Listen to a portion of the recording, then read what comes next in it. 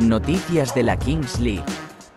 Nico Pareja, jugador de Cuni Sport, y Temo, exjugador de Porcinos FC, compartieron su entusiasmo por el fútbol y expresaron su deseo de ver a una leyenda española en la Kings League, Andrés Iniesta.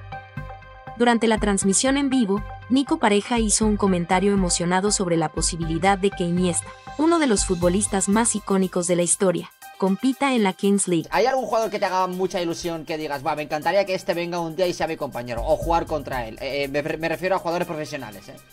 Ah, profesionales. Sí, sí. Eh...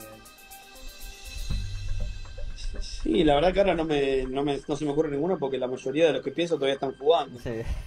Eh... La mención de Andrés Iniesta en la Kings League generó entusiasmo y especulación entre los fanáticos del fútbol y los seguidores de la Kings League. Si bien Iniesta juega actualmente para el Emirates Club, su influencia en el deporte sigue siendo significativa, y su participación en la Kings League será un acontecimiento destacado en el mundo del fútbol. Pero, pero sí, posiblemente tenga en la cabeza. Da igual, alguien que esté algún jugando, me da igual, alguien ¿Eh? que esté jugando, alguien que esté jugando, que el primero que se te venga a la cabeza. Y a, a mí me gustaría ver a Andrés, Sí, Andrés. En, la, en, la, en la Kings. O sea, me parece una cosa loco. Eh, y poder otra vez volver a jugar con o contra él Sí. sería brutal.